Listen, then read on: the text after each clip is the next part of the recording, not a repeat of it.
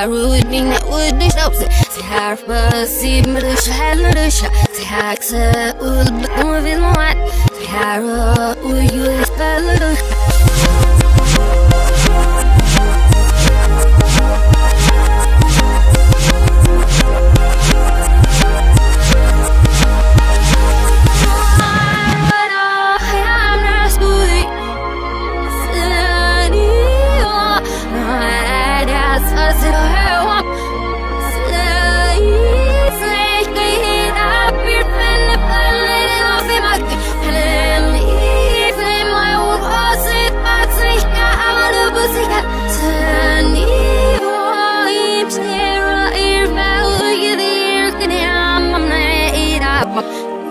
Just my wish to plan on most of them so well thought Nej, jag men och för dig busse Na na ne mach man rap